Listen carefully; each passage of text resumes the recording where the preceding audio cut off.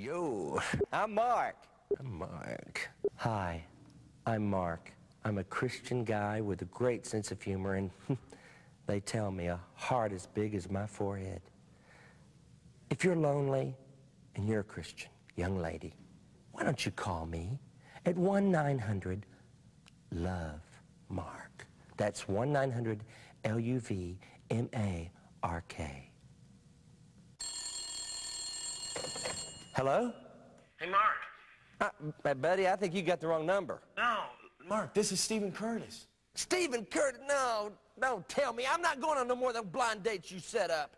Look, I found the girl for you this time. Man, you gotta trust me on this. Yeah, right. Mark, listen, she has got a great smile. She's got beautiful eyes. Oh, yeah, well, uh, she got what, an arm, a leg, a head, a neck, the whole package? Are the eyes pointing in the same direction this time? Mark, come on. It won't be that bad. It'll be an adventure.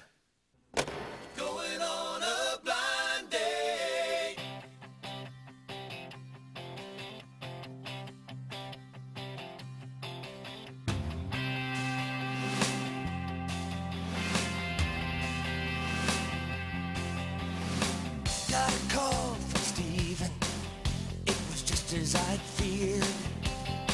Said he found my ideal girl. If I could overlook her beard. Another night out with a stranger.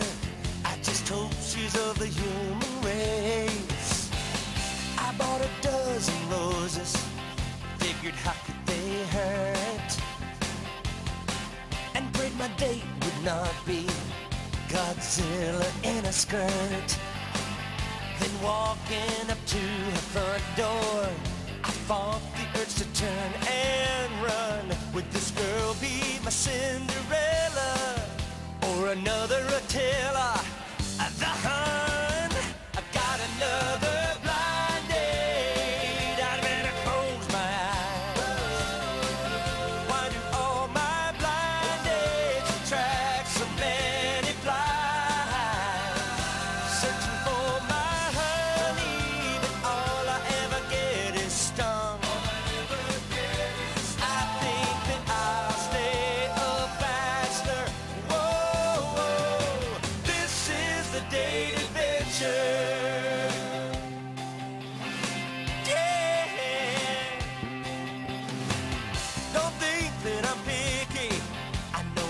So hot. Getting ready for a date should not include a rabies shot. Why must dating be such a challenge? Why can't it be fun